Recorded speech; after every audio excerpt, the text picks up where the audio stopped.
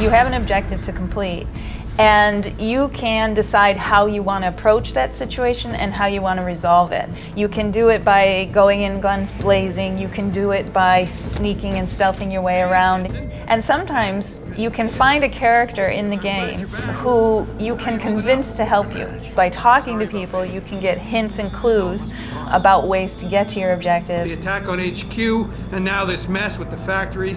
Yeah, tough times all around. Another aspect of the social gameplay for certain in, our, in, in Deus Ex Human Revolution is the aspect of taking on side quests. You're confronted with side quests that are important issues certainly to the side quest character and yet there's something that Jensen gains out of doing it as well.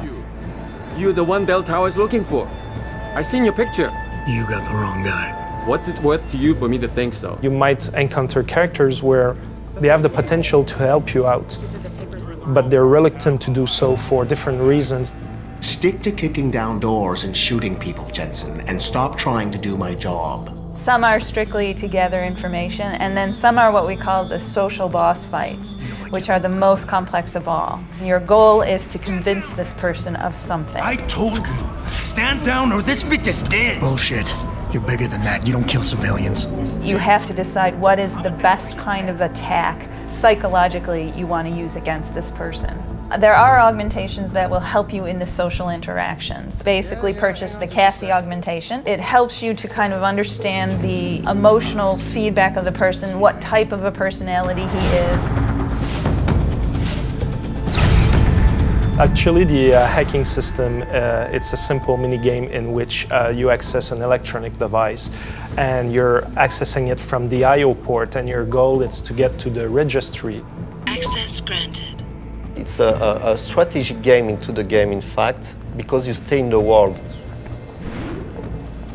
Hacking actually allows you to uh, get access to a different number of things. Computers can gain access to safes, uh, security systems, uh, alarm systems.